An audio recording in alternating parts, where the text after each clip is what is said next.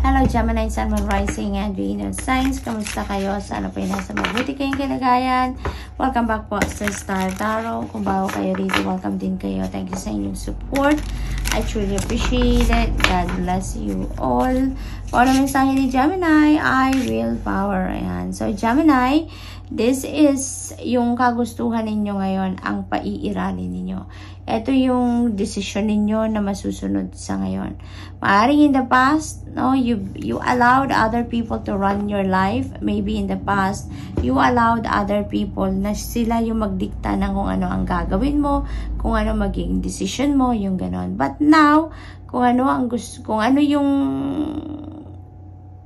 gusto ninyo, yun ang masusunod. Kung ano yung decision ninyo, yun ang masusunod. So, which is really good, no?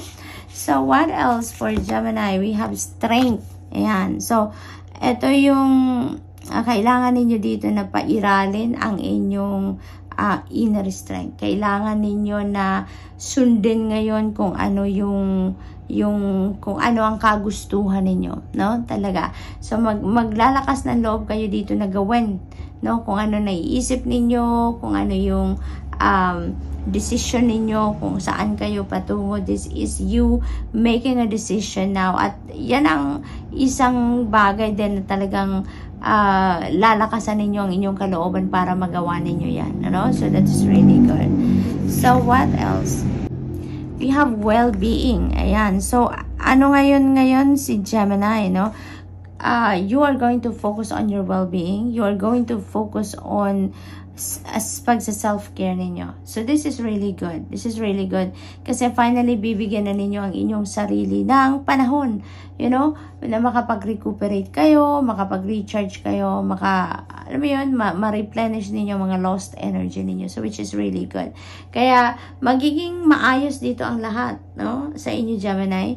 Kasi may babalik na new na dito yung inyong ang inyong balanse sa sarili ninyo, sa buhay ninyo. May babalik nyo na ngayon yung inyong uh, good health, kumbaga, kasi makakapag-focus na din kayo sa inyong pag-self-care sa ngayon. So, napakagandang gagawin ninyo yan kasi napakahalaga, di ba, na maging healthy kayo.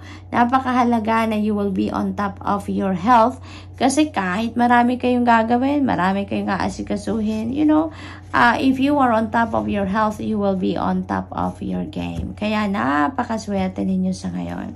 So, what else, Gemini? Happiness. Magiging masaya kayo. So, napakaganda. Walang kasing saya dito mararamdaman ninyo because, you know, mababawi nyo ng inyong kapangyarihan over yourself. Magagawa nyo na ngayon kung ano yung mga gusto ninyo. Kaya, talagang isang rason yan, ano, para kayo ay talagang mabalot ng saya because iba, iba 'di ba talaga ang pakiramdam kapag nasusunod mo kung anong gusto mo, nagkakaroon ka ng kapangyarihan over yourself. Alam mo 'yon, iba ang pakiramdam ng ganon. Kaya uh, most likely you are going to be feeling happy and joyful talaga around this time, you know? So, what else? We have travel. Some of you are going to travel dito. This could be travel over water. Maaari din naman ang hindi. General reading naman ito. So, this could be any kind of travel, any kind of transportation, uh, ano dito, uh, mode. Kaya, Depende sa inyong sitwasyon but definitely you are going to travel. Maaring literal ito na pagbabiyahe talaga or for some of you, maaring mental travel din ito, Gemini. So for others of you, maaring maraming iniisip, maaring merong uh, problemang sinusolve, maaring meron kayong uh, planong pinag strategizean So depende sa inyong sitwasyon but definitely you are going to to uh, literal na magta-travel or thinking, thinking talaga ng malayo or malalim. So, what else for Gemini? We have lighten your load. Mabigat, no? Ang dala-dala ninyo sa ngayon. May hirap siguro ngayon ang nai-experience ninyo. So, uh, ngayon, parang gagawin din ninyo ngayon ang lahat para mapagaan ang inyong pakiramdam, mabawasan ang inyong binibitbit, mabawasan ang inyong uh, load sa dibdib, maaring ganon. This could be bagahe pa from your past relationships. This could be uh, duties, responsibilities, obligation, maring yun din ang nagpapabigat sa inyo sa ngayon. Kaya, tulungan ninyo ang inyong sarili na mapagaan no, ang inyong sitwasyon dito. So, if you need to ask for help from other people, do so. No, Gemini, remember that you don't have to carry all the burden, okay? Lagi at laging merong makakatulong sa inyo. So, depende sa inyong sitwasyon, ihingi ninyo yan ng tulong, ng assistance because uh, entitled naman tayo na humingi tayo ng tulong. Entitled naman tayo na humingi tayo ng assistance from other people. Okay? So, good luck and that's all I have for you for today. Thank you for watching. Love and light. Namaste. Hello Libra, Sun, Moon, Rising, and Venus signs. Kamusta kayo? Sana po nasa mabuti kayong kalagayan. Welcome back po sa Star Tarot. Kung bago kayo dito, welcome din kayo. Thank you sa inyong support. I truly appreciate it. God bless you all. O na mensahe ni Libra ay dreams. Ayan. So, yung panaginip na to, no, Libra, that could be guidance for you. Maring humihingi kayo ng gabay, humihingi kayo ng, ng direction, ng clarity from the divine, and maaring dinadaan yan na kasagutan sa inyo, na mensahe sa inyo through your panaginip. Kaya pay attention to your dreams pagkagising ninyo, kung meron pa kayong naalala mga elements sa inyong panaginip, make sure na isulat ninyo yan, write them down on paper, at pag may oras na kayo, i-decode ninyo yan, i-google po ninyo at tignan ninyo kung anong ibig sabihin ng inyong mga panaginip po, okay? So, what else? We have lighten your load, Libra. Maaring nabibigatan na kayo ngayon sa inyong sitwasyon maaring siguro sobrang dami ng inyong obligasyon, responsibilidad, whether sa pamilya or sa trabaho, siguro ito kaya parang bigat na bigat na kayo, no? So, inaanyayahan kayo dito ng Divine Universe to lighten your load. No, you don't have to carry all the burden. You don't have to do everything all at once. No, maaaring kailangan din ninyo dito na mag-time management kayo or kailangan ninyo dito na humingi ng suporta, tulong, assistance from the people around you. No, kasi nahihirapan na kayo, Libra. Maaring mabigat na din this could be emotional burden din, no, for some of you. Maaring hindi lang ito obligasyon, responsibilidad or overwhelming task na binibigay sa inyo. This could also be emotional burden. So, depende sa inyong sitwasyon, you don't have to carry all of them. Libra. Meron kayong mga emotional baggages pa from the past, no? Uh, maaaring ito na yung tamang panahon para i-give up nyo na yan, iwanan nyo na yan. Because for sure, kung mabigat na ang pakiramdam ninyo, ibig sabihin yan, it's no longer serving your highest good. It's not for your best interest anymore. So, it's about time na na i-let go nyo na yan. No? Kasi magpapahirap lang yan sa kalooban ninyo, sa, sa, sa buhay ninyo. Obligation, responsibilidad, overwhelming task, if that's the case, you can always ask for help no? Huwag ninyong pilitin na kayanin ang lahat kasi it's going to take a toll on you in the long run, Libra. Madideplete ang iyong energy, mai-stress lang kayo dyan. Kaya, as much as possible, humingi na kayo ng tulong, no? Kung kinakailangan, humingi na kayo ng tulong, wag na kayong magdalawang isip, okay? So, what else? We have life purpose. And so, some of you ngayon, Libra is being called, no, to uh, step into your life purpose. Some of you are being called now to do what you really need to do to serve the world, no? Magawa na ninyo na uh, yakapin kung ano man ang purpose ninyo sa buhay, kung ano man yung mission ninyo sa buhay sa ngayon. At napakaganda, you know, Libra, when you start living your purpose, dyan ninyo mararamdaman ang fulfillment, ang lalim na saya, joy. Hindi lang talagang masaya kayo, kundi sobrang lalim na saya na sometimes hindi mo ma-explain, sometimes hindi mo ma-describe kung anong klaseng saya ang nararamdaman ninyo. That's when you are living your purpose already. Ganyan ang pakiramdam kapag yung nagagawa nyo na kung anong mission ninyo sa buhay. No? Talagang sobrang saya, sobrang um, lalim ng saya na mararamdaman ninyo. No? To the extent na sometimes maiiyak kayo dahil sa sobrang saya ninyo. No? Yung ganon. So, what else? We have transformation, napakaganda. Napakaganda ng butterfly, ano? So, this could be a, a massive transformation na sobrang beneficial for you. Sobrang gandang-ganda ang, ang magiging pakiramdam ninyo at magiging resulta ng anumang pagbabagong ito. No? Uh, this could be in any area of life. Maaring uh, personal transformation ito. No? Maaring spiritual level ito na magbabago dito. Maaring related yan dito sa load ninyo. Maaring babaguhin nyo na talaga ang sitwasyon ninyo sa ngayon with that.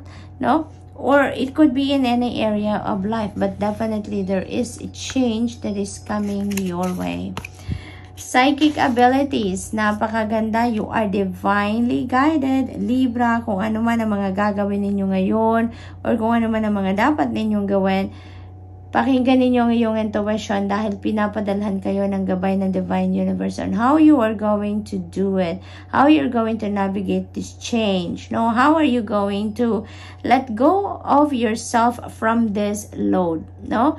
So, your psychic abilities are on point, no? That could be clairvoyance, that could be um, psychic hearing, psychic knowing, yung ganon. Yung, yung, yung alam nyo lang, no? You just know what to do, yung ganon. That is inner knowing, sinasabi natin. At could be intuitive messages na ipapadala din sa inyo. So, intuition will be on point as well around this time, Libra. Kaya pakinggan ninyo, pakiramdaman ninyo kung ano yung mga information na napipick up ninyo dahil yan ang gabay sa inyo ng Divine Universe. Okay? Passion, And this could be passion with what you really love to do. So, this could be related to your life purpose. Kung ano man ngayon yung mga gusto ninyong gawin, that could be it. That could be in alignment with your life purpose. So, maaaring may mga opportunities dito and possibilities that are coming your way that will be in alignment with your purpose, Libra. So, good luck po. And that's all I have for you for today. Thank you for watching. Love and light. Namaste. Hello Aquarius, Sun, Moon Rising, and Venus Signs. Kamusta kayo? Sana po nasa mabuti kayong kalagayan. Welcome back po sa Star Tarot. Kung bago kayo dito, welcome din kayo. Thank you sa inyong support. I truly appreciate it. God bless you all. Tignan natin pa unang mensahe ni Aquarius ay forgiveness. Ayan. So, this is kapatawaran, pagpapatawad. Maaaring kayo yung magpapatawad dito ng someone or maybe you are going to ask for forgiveness from someone. No? Maaring ganun ang ganap dito. Definitely, ang maganda rito, you ready ka na mag-move forward sa buhay ninyo. Ready ka na mag-move on. Kaya, willing ka nang magpatawad or willing ka nang humingi ng tawad. So, good luck to that, Aquarius. Spirit guide, there is a calling from your spirit guide ngayon, Aquarius there is, ano, you have a spirit guide ngayon na gustong tulungan ka uh, meron kang spirit guide ngayon that is trying to connect with you, trying to communicate with you because that spirit guide wants to help you sa kung ano man ang inyong sitwasyon sa ngayon. Okay? So, pay attention to your dreams or pay attention to your intuitive messages because ang mensahe ng spirit guide na to could come from your intuition or could come from your dreams. Okay?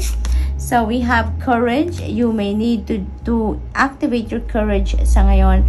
And, you know what? That could be related to this forgiveness. Because yung hindi madali magpatawad hindi rin madali na humingi ng tawad, hindi pa. It takes a lot of courage for you to be able to do that no? Kaya maaring yun ang yun ang kailangan din ninyo sa ngayon. Maaring kailangan ninyong i-activate ang inyong courage, ang inner strength ninyo for you to be able to ask for forgiveness and for you to be able to give no your forgiveness to other people Aquarius. So maaring ganun ang sitwasyon dito for some of you. So what else? We have financial health. Ayan. So most likely ang iba sa inyo may problema pang kaperahan uh, recently and parang parang maaayos na to sa ngayon. Ano? Napakaliwanag ng card na to. Napakaganda uh, ng, ng itsura, ng vibe na nilalabas na to. Kaya most likely, maibabalik nyo na ngayon ang, ang inyong magandang uh, financial health. No? Maaring magkakaroon kayo dito ng mga financial blessings, financial opportunities that's going to bring forth um, healing, no? Dito sa inyong financial situation. So, maaring magkakaroon na kayo dito ng pagkakataon para ma-experience ninyo ang prosperity and abundance at magiging maayos na rin ang kung ano mga pangangailangan ninyo pangkaperahan, maaring makuha nyo na yan sa ngayon. Kasi magiging maayos na din ang inyong financial landscape around this time. So, that's really beautiful. Transformation, speaking of change, ba? So, talagang magbabago ang inyong pangkaperahang aspeto, mababago ang inyong financial landscape sa ngayon, Aquarius. So, that is really, really possible. So, napakaganda. Hindi lang din ito financial health or financial landscape ang maaaring magbago dito, but that could also in other areas of life. Lalo-lalo na, no? Parang mababago talaga ang inyong sitwasyon, magiging maganda, maayos talaga ang inyong sitwasyon, pakiramdam pakiramdam, ganun din Aquarius because of the forgiveness na na mararamdaman ninyo, yung pagpapatawad ninyo, 'di ba? Yung yung kapatawaran din na makukuha ninyo kung kung yun din ang inyong sitwasyon ay malaking pagbabago ang maidudulot niyan sa buhay ninyo boundaries. Ayan. So, maybe then, no, yung courage na to, you also need that courage and inner strength for you to be able to um, set your uh, personal boundaries. No? Kailangan niyo din ng lakas ng loob dyan para magawa ninyo ito. Kasi parang sobrang bait ninyo. You are very giving. Very lax lang kayo, Aquarius, pagdating sa ibang tao. No? To the extent na parang siguro ang iba sa inyo dito ngayon sa sobrang compassionate ninyo, sa sobrang bait ninyo, sa sobrang giving kayo, naaabuso kayo ng ibang tao. Kaya, this is a calling for you, no, from spirit na it's about time na Aquarius to uh, set your boundaries. Para nang sa gayon, malaman din, maging aware din ng mga tao sa paligid ninyo na may kailangang may limitasyon din sila. Na hindi sila dapat na uh, yung sobra-sobra nila man yung gagawin nila towards you or yung pag-aabuso nila sa inyo, sa inyong kabaitan, di ba? So, this is the time also that you need to set your boundaries. And setting boundaries is not bad at all, di ba? Mas nakakatulong ang pag-set ng boundaries sa mas ikaka... Uh, lakas or mas ikakabuti kumbaga ng inyong relationship sa tao kahit anumang klaseng relationship ang meron kayo.